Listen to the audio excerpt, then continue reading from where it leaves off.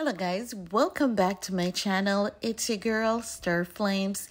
If you all remember yesterday, we did a video reacting to Kim and Ye's son, Saint West, flipping the paps, and many of us understood because it was just excessive of the paparazzi to always be in the kid's face. Now, today that clip is going viral and social media is chiming in. And what I found surprising is that we're not the only ones who agrees with Saint on this gesture. Many people on social media after viewing the clip, they were like, yeah, that's definitely Ye's son. Not only that, people were asking, how is it that the paparazzi knows Kim Kardashian every move? and you're you have to say like yeah right. Because everywhere she goes there's always the paparazzi. And what i observe is that saint did not flip them off only once but he did so twice right? The very first time it seems as though kim tried to put her hands over his mouth. I believe that she was you know quietly saying to him not to do that but not, you know, saying it at the same time, which is also given the sense that, you know, Kim could possibly have told the child to do this.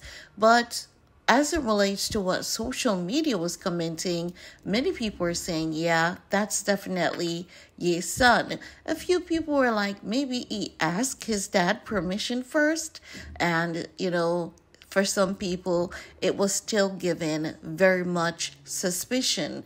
Now, why would this be giving suspicion for a lot of people is because Kim Kardashian is known to be the queen of PR. And whenever she wants to be talked about, because let's keep it real, Kim relevance is not what it used to because she has been caught in so many lies, so many dis- um, deceptive behavior and people believe as though the family is just not you know relatable. It's not as though they're even being honest with their taxes or anything right? And as such many people have developed this disgust towards them. You know just too many lies too many pr stunts too many repeated actions of using men, lying on them, and the mere fact that Kim did what she did to Ye using Pete, that is unforgivable.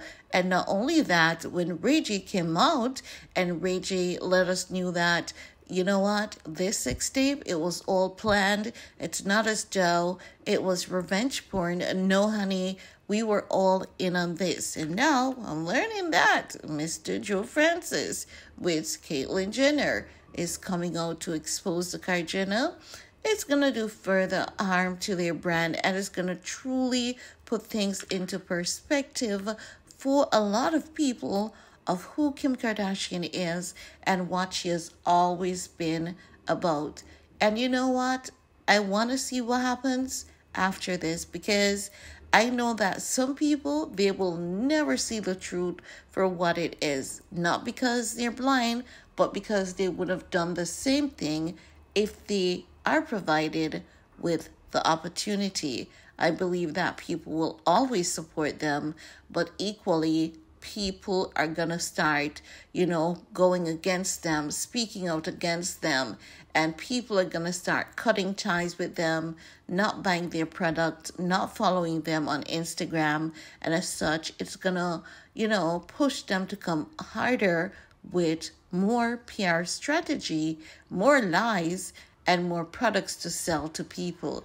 They're going to go above and beyond to rebrand. And I actually believe that they might be working on this rebranding as we speak because even with Kylie dating Timothée Chalamet, that's a part of their rebrand strategy.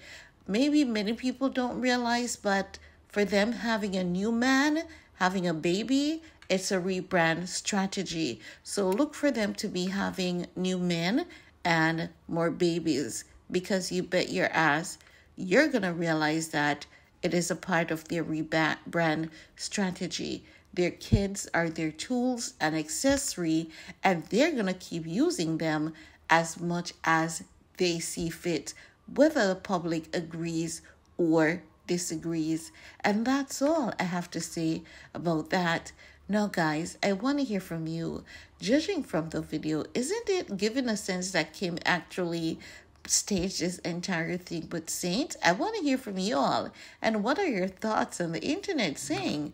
That's definitely Ye's son all right. Do you think that Kim knew that people would have jumped to that conclusion if she staged this entire thing? I want to hear from you. And while you're at it, give this video a big thumbs up, share if you care, and see you all later. Peace.